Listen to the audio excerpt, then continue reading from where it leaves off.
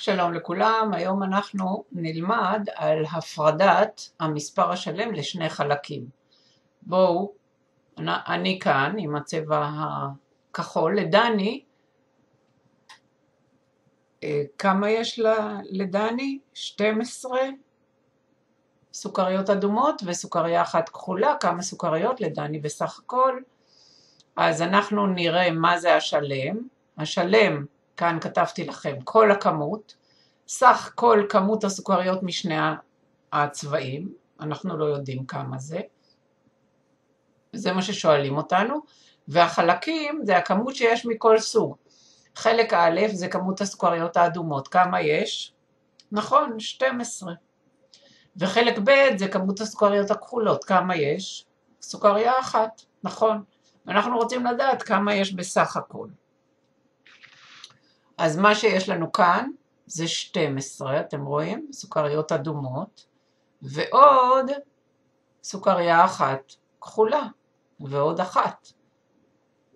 אז מה יש לנו פה? 13, נכון.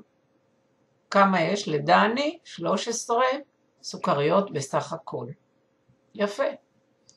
ואנחנו נעבור מיד לשאלה הבאה. השלימו לפי התמונה כמה ציפורים יש בתמונה בסך הכל.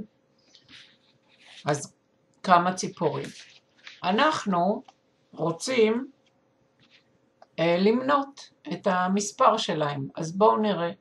זו אחת, וזו שנייה, וזו שלישית, וזו רביעית, חמישית, שישית, שביעית, שמונה, תשע, עשר, אחת עשרה, שתים עשרה, יפה, שתים עשרה. זה אומר שהשלם הוא 12. כמה ציפורים יש בסך הכל? בתמונה יש, בתשובה, 12 ציפורים. אבל מה הם החלקים?